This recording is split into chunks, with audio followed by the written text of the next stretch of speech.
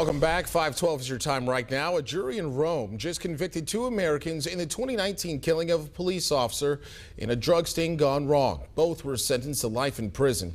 Prosecutors allege 21-year-old Finnegan Elder stabbed Officer Mario Rega 11 times with a knife. His friend, 20-year-old Gabriel Natale-Hjorth, is accused of helping him hide the weapon in their hotel room.